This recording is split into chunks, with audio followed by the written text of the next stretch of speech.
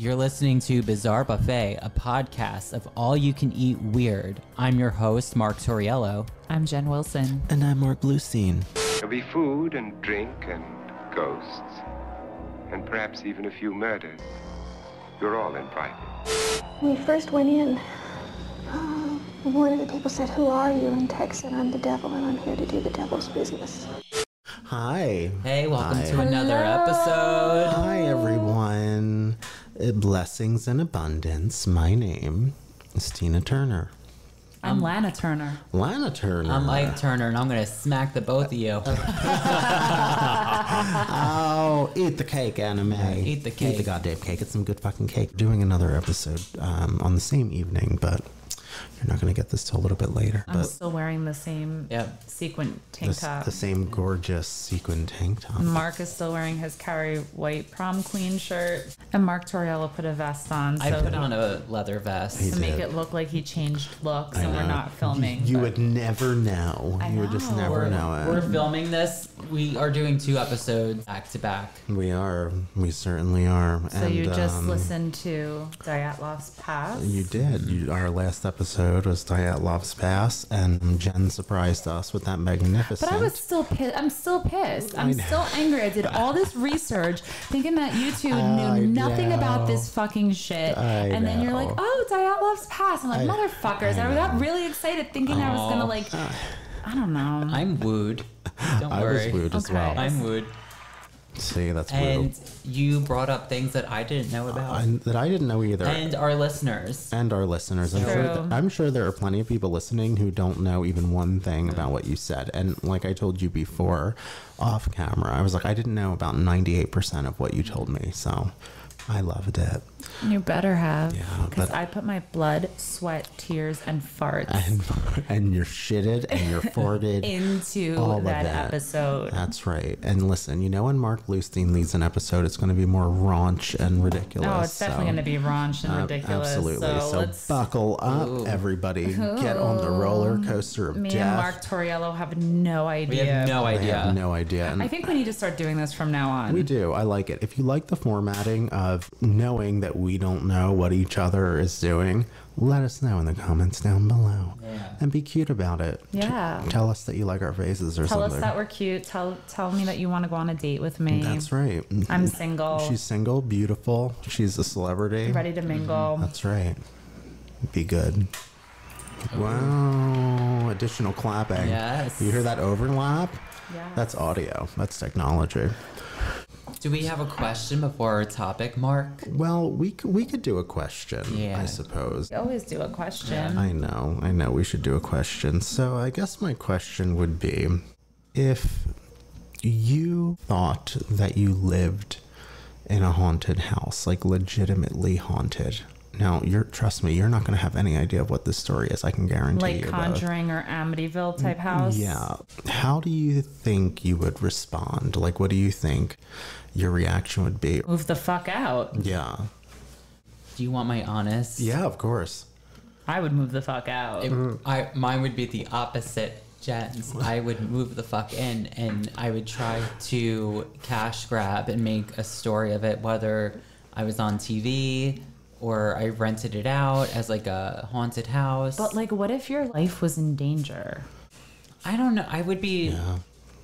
I would be more concerned about my rent or mortgage because now I have a fucking ghost living here rent free. That's yeah. true. That is true. Fuck you, ghost. Fucking ghost motherfuckers. Pay up. Pay up or get out. Yeah. You're freeloaded. No good. Good for nothing. That's my ex-boyfriend. That's that's that's right. Unfortunately.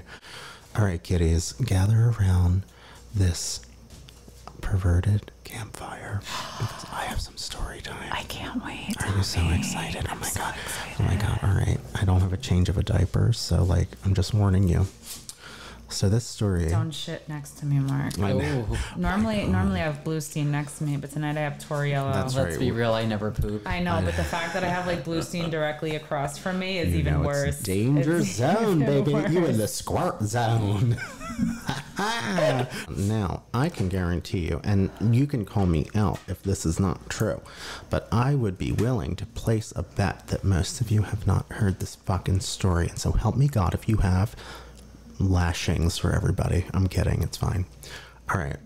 So the story it's a little fucking out of control. I'm gonna tell you ahead of time. So the things you'll hear in this episode, yeah, it is. It's fucking crazy. Love some out of control shit. This this shit is like '90s thriller. Like Sharon Stone is gonna pop oh, out. Glenn Close is gonna boil your family Fatal fucking attraction, rabbit. single Oh, white yeah. female. Oh yeah, Oh, yes. only like that, but more fucking dark and demented. So this story, it centers around two sisters. Their names are Annie and Jessica Andrews, and they were living in their childhood home in Pepperell, Massachusetts. Never heard of it, but it has pepper in the name, so that's cute.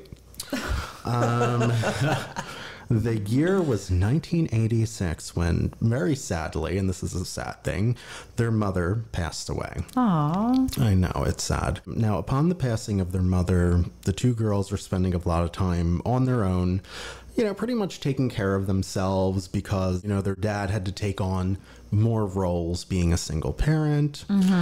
So, you know, with being a single parent and them being on their own a lot, What are their ages, if you don't mind me asking? Um, no, not at all. Annie was 15, and I know Jessica. I think she was a little bit younger. I'm not exactly like sure. 13, Yeah, they were they were very close in age. So they were like young teenagers. exactly. At this point, uh, the family's grieving, and Annie, who's 15, you know, trying to keep herself going and move past the tragic loss of her mother, she starts chatting with a boy by the name of Danny. Ah, Ah, Danny, or so we would hope, right? Oh, Danny boy. Oh, the pipes, the the pipes. pipes Well, are you're gonna you're gonna learn why that's a really funny reference. You just wait. Oh Just shit! wait. Did I just I- make a random reference? You made a random reference that actually is gonna make sense to you later. So, Danny, 15 year old, and Danny. So. The story goes that Danny said he got Annie's number from a friend and that they went to that he went to another high school. So as time and phone calls progressed, like any teen, Annie was starting to fall for Danny. Ooh. So like eventually after all the back and forth, you know, the time to meet one another was soon approaching. And Danny had asked Annie if she'd like to go get ice cream with him, which she was all about. Ice cream. Ice Lieutenant cream. you- Dan, Ice ice cream. cream. Ice cream. You scream. We all scream for Danny cream. how innocent. ice cream. I know. It was 1986. So. Oh. Ice cream and Back to the Future. Fuck yeah. Mm. So now picture it, I wrote. Picture it. The moment has come. The bell rings. Annie nearly rips that door off the hinges and then. Oh, fucking shit. Now I'm going to reference the show Catfish here oh, because yeah. this is what ends up happening to Annie. Turns out, yeah, Danny was embellishing, you know, a little bit over the phone. I'm guessing you had to be more open minded in 86 because, you know, no smartphones. So, so reluctantly, Annie still chooses to entertain the ice cream date. It's an awkward situation. I'm not sure that I personally would have, you know, entertained it myself. What do you guys think? Mm. It depends. That's Wait, true. so basically they were speaking on the phone with each other. But they never met. They never met. Yeah, they had never Okay. met, and, he claimed that he got her phone number from a friend. So what, like, did he just randomly call her and be like, "Hi, uh, Yeah, my friend, uh, give me your phone number. We're gonna talk." Exactly. And this was like before the internet Oh existed. yeah, exactly. I mean, or if it did, or I don't know, the first Apple computer that was literally a fucking paperweight, probably. Um, so here we are, right? We're on this ice cream date. Annie, she's already fucking over it because the obvious aspect of Danny lying about his appearance, but he was also like a little off, I guess you could say. Mm-hmm. Whatever it was, it was a combination of things that wasn't working, and Annie was like, okay, I gotta go. I gotta go. This ain't working for me. We're gonna fast forward, and assuming that would be the last encounter she would have with Danny, she puts him out of her mind. That's that weird situation. They don't talk to each other from that point on. So basically, it was just like a bad catfish date. I- Exactly. Mm-hmm. It was just like a bad catfish date. She was essentially being polite or to try to avoid awkwardness, maybe. Mm-hmm. And she was just like, all right, I'm going to do this. Everyone's been there at some point in time, I'm sure, or at least most people. Maybe she just wanted the ice cream. Yeah. I'm- All right. Now, we're a very bizarre podcast. We love bizarre things. Let's talk about Ouija boards for a moment. Okay. And we're switching it all up on you. You know, most kids and adults alike have dabbled in the spooky occult pastime, right? Trying to conjure either like your great grandma Gladys or Satan. Of course. You know, the We've all done it. We've all been there, mm-hmm. done that. We all have. You know, someone's mom has probably yelled at them at some point in time, You're gonna conjure demons or something like that. Anyway, so as we've already learned, Annie and her family have suffered this great loss. It's not entirely common that the two teens, still being heartbroken from this loss, would try to maybe communicate with their mother, like via Ouija board. Mm-hmm. So they're trying to communicate with their mother, who passed recently, you know, for some answers or whatever it is. Shortly after the seance, things started getting more strange around the house almost immediately. So now do you guys have any idea of like where this might be going or no? I'm not sure yet. They started hearing knocking sounds in the walls, like through the home in different places, thinking, oh wow, mom might be trying to tell us something. You know, they believed at this point that their mother was trying to communicate with them. Oh, don't tell me Danny like snuck in and was like stalking. No, no, you gotta wait till the end. There's so many weird things here that you would never imagine. They started hearing all these noises, believing that it was the mom trying to communicate with them. But the noises just kept progressing and getting worse at this point, like fucking frightening, even. Multiple taps at once in succession, just like a lot of like, you know, like mm-hmm. fucking out of control. So here's the issue now. No one is believing the girls, including their father, because they've discussed this with him and they were like, listen, this is what's going on. Like, we think it might be mom or we have a ghost from the Ouija board. And the dad is pretty much chalking it up to residual stress, wanting to believe essentially. These are methods of coping. And the dad himself never actually heard any of these taps himself because he was working more and hmm. had more things to do, as we discuss. Now, the noises continued for the girls, but seemingly they were only happening when the dad wasn't home. The lights would go on and off, things would be moved. Typical haunting jazz, you know? Mm-hmm. Typical fucking haunting jazz, what you would expect. So it doesn't sound too different from other haunting stories you've heard. So it's been established that the girls aren't making any traction with their dad, believing that the experiences, and by all accounts, he hasn't heard any of what they've been experiencing. What can he do, I guess? However, all of the banging and clanging continues as they're home by themselves. On one occasion, they braved going down to the basement because there was a particular amount of ruckus coming from there. As they explore the basement, they discover on one of the walls there's writing. Oh.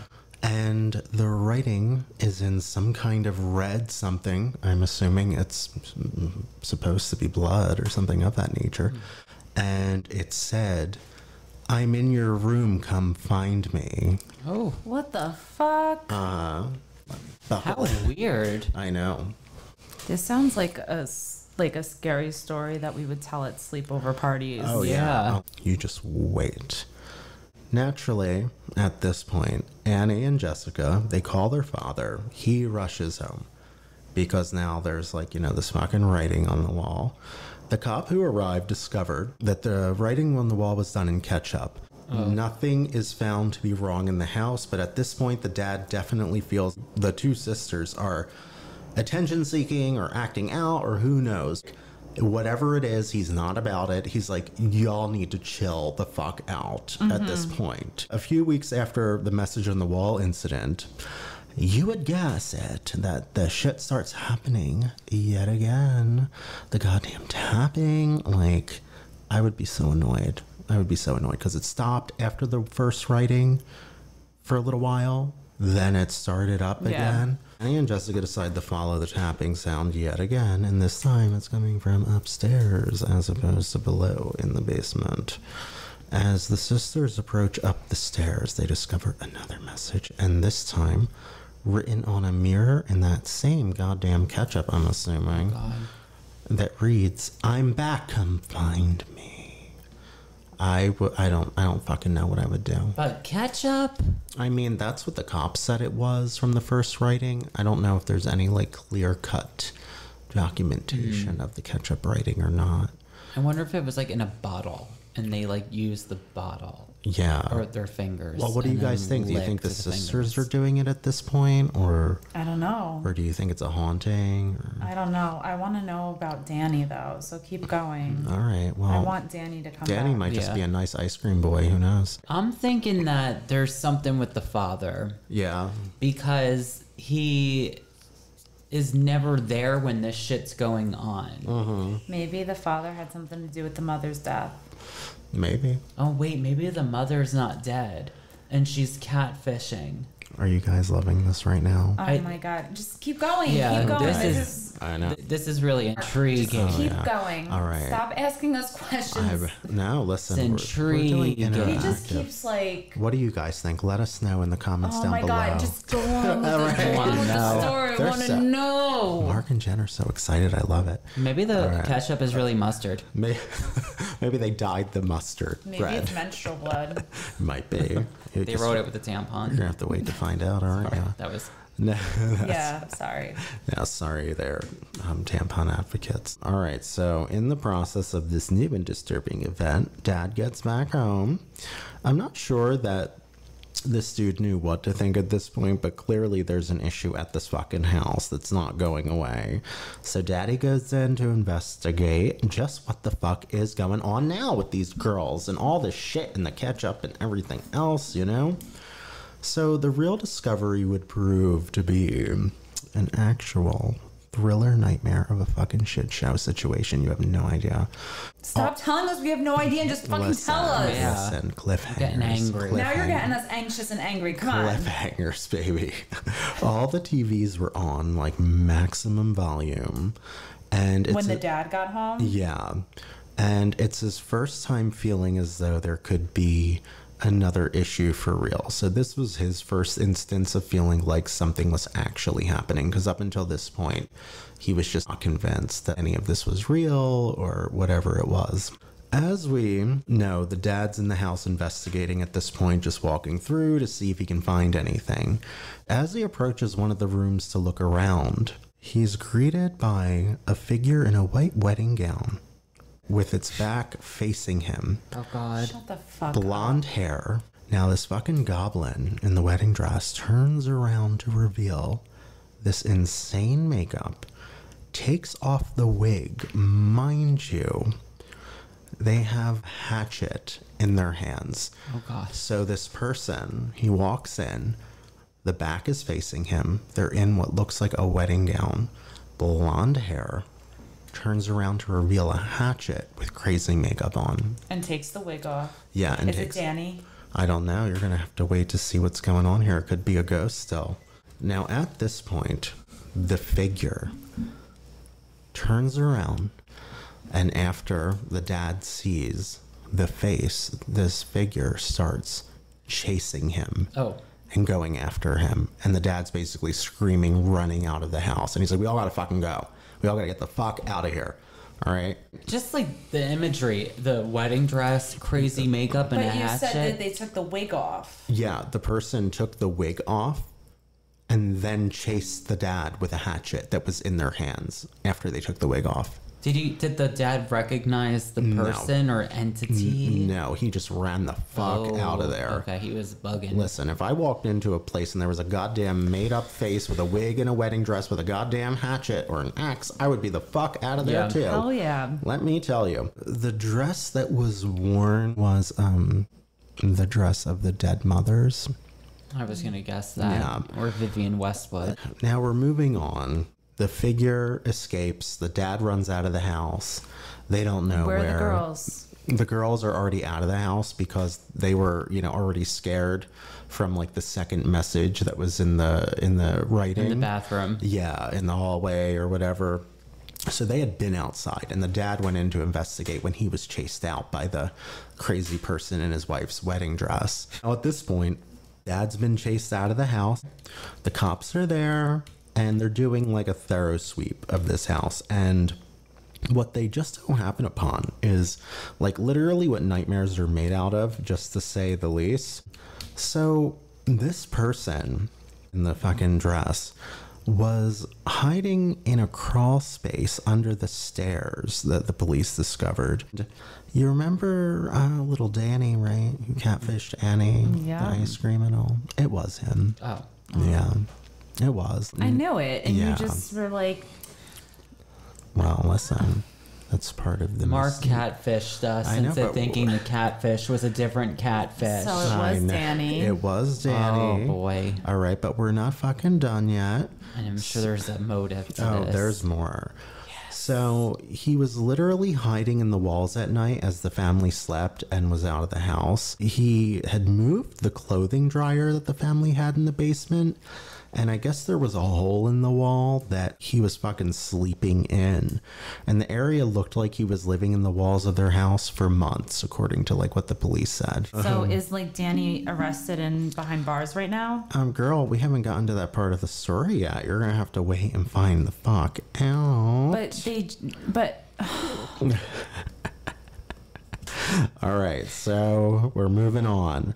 Nothing would happen when the dad was home because this fucking goblin could see the dad coming and going from the vents below the steps because he was hiding in the walls, like from the crawl space. So he was basically people under the stairsing it around the house. So he was hiding in different places of the house. Mm-hmm.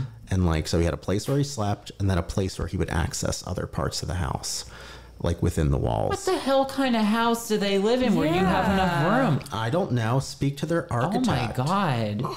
I want to look this up. Mm-hmm. I wouldn't be able to fit my foot through one of our walls. Oh, I know. So, Danny, good old Goblin Danny, he was hit with a fucking ton of charges. One being armed assault in a dwelling, breaking and entering, malicious injury to a property, as well as armed burglary. He bounced around from a bunch of facilities. He was underage, he was not 18 at the time. So now, his full name is Danny LaPlante. He is behind bars, but the family is like, we just gotta fucking move now. We're over it. Like, we know he's behind bars, but let's get out of here. Um, however, now that the Andrews, that's the family's name, um, now that they're done with their awful nightmare, the saga of Danny LaPlante continues. Oh God, he's so creepy. I know. Everybody look him up. Danny was released to his mother a $10,000 bond, and I believe what it said was that he was awaiting to be tried as an adult as opposed to being tried as a minor for his crimes against the Andrews family. So it was a weird loophole that would get him free for a little while as he awaited, I guess, his new sentencing. Hmm. Now, it doesn't take a fucking rocket scientist to figure out that, you know, his release was the worst idea ever. Danny was subsequently released to his mother and stepfather while on bond. And Danny targets a family in his neighborhood at this point. One that lives more or less um, directly behind his home with his mom and his stepfather. Now, within weeks of Danny being out on bond, Andrea Gustafson who was pregnant at the time, is murdered along with her two young children. Odd coincidence, maybe, but not likely. And regardless, you know, another fine example of what the fuck. Why would they let an axe wielding crazy man in a dead woman's wedding dress out on bond anyway? but um, I digress. So the cops head over to Danny's house at this point because they know he's supposed to be kept there. He's out of fucking child prison or wherever the fuck he's in.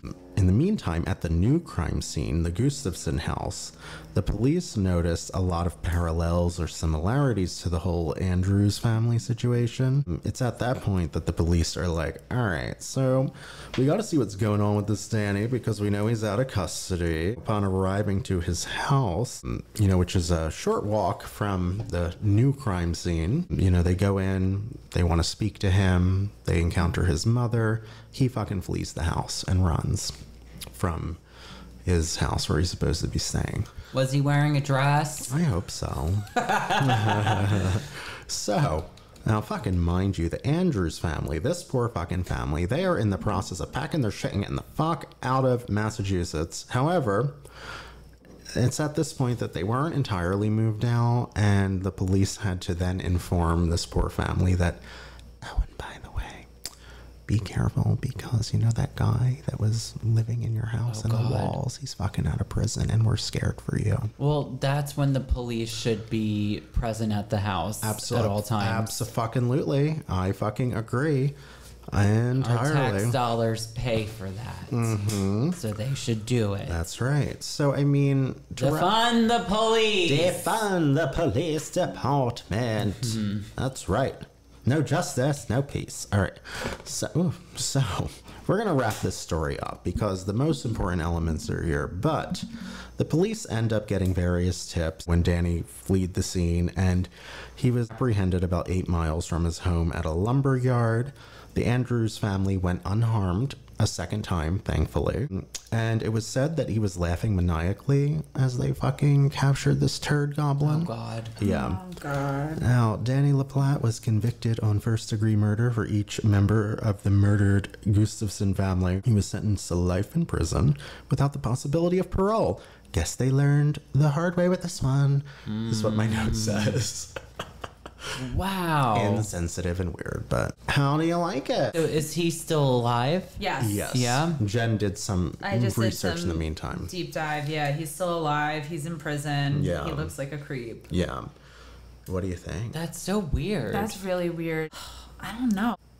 How does one get into your fucking house and then hide and then Yeah. hide under the the the stairs and then in the cross? Like, how does one get in well, there? I want to see this shit happen in a trailer park. Um, never. I mean, You like would know. you would have to live in a fucking like big house, Mm-hmm. like a nice ass big old Well, house. it kind Yeah. of like it kind of makes me think about the episode we did on Cabrini Green, Oh, where yeah. like going through like the the, the walls. yeah, Yeah. the bathroom mirrors. Yeah.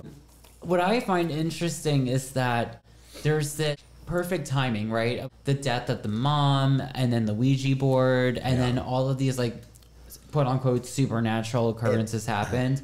I wonder if he was in the walls or spying on them while they did the Ouija board. I'm pretty sure he was. And Yeah. that is more creepy than any I- kind of how, ghost. How fucked up is that, right? And I think you are a million percent correct because the Ouija board did not take place till after the ice cream Mm-hmm. meetup, where he clearly felt a certain kind of way of, you know, the poor girl being like, "Oh, by the way, you lied to me about almost everything. I'm the fuck out of here. You're lucky I even entertained you for a second. Yeah. So he felt a certain kind of way about that. Right. So I'm assuming he probably moved his fucking wild ass into that house soon after. And he was most definitely, you know, spying on them. And the funny thing is, is that they were playing with the Ouija board in the basement. And if you recall, he oh. was sleeping in the basement right. in a hole mm. behind their clothing dryer. So that was his main hub. He would only disperse throughout the house through another access point under the stairs Right. to fuck with them and to create the hauntings. So he most definitely was there when they were doing that. And ano- that's just a whole other twisted fucking Yeah. element. Like you are Very so creative. I know, very creative for sure, but you're Wait, so fucked up. Did he actually know one of the Anne was it the Yeah, the daughter? Annie. Did he know Annie's friend or was that made up? That I I'm I'm 90% sure that's made up. I remember I feel like I saw something that said that he actually went to her school and he was known now don't quote me on this everybody mm-hmm. because this is what my brain is telling me. I cannot confirm it for you, but if you know, let us know. I'm pretty sure that he actually went to her school and that's how he knew her. So the so What the friend dweeb. I know. So the friend connection. Mm-hmm. oh, I'm from another school. Was like bullshit mm. entirely. But he was living in that house. But did he live at home too? Is it like I'm. I mean, that's not clarified. There might be other articles. This is just from one source that I used. I would love to see people interview these killers and ask them exactly how it was done because I think Yeah. that's really fascinating and interesting. It is, and I mean, you know, there might be footage of him being interviewed. There could be. I'm not entirely sure of its presence or not. But, you know, a lot of times these people are just such fucking narcissists that they're like, I'll never tell you because I Yeah. don't have to. You know? Oh, I'm powerful. Oh, see, I'm powerful. Oh my god. Yeah, but um, I mean, Hal just uh, that to me is just such a creepy story for so many reasons. Dress. The the dress, the wig, the war paint, as it was quoted, face makeup, the so axe creepy. wielding. I mean, it's just a fucking shit show of a nightmare. like for fuck's sake, uh, can you imagine? What do you put on a dating profile if you're this dad looking to meet a new wife one day? Oh, and by the way, an axe wielding psycho lived in the walls of my house Yeah. for a while. I mean, I would be like, marry me, but still. But that's so off-putting. Like I don't know what the fuck I would do if I saw I- that. Like I know. I. Ugh. And it was just I'd such an I know, such an opportunistic, I think, attack for so many reasons because the kid was aware that the dad was never there, mostly never there. Mm-hmm. So he capitalized on the father taking on all this additional stress of like, okay, now I got to pick up these 20 other things that, you know, my wife did and now they're mine on top of my existing 20 things. So he was usually never there.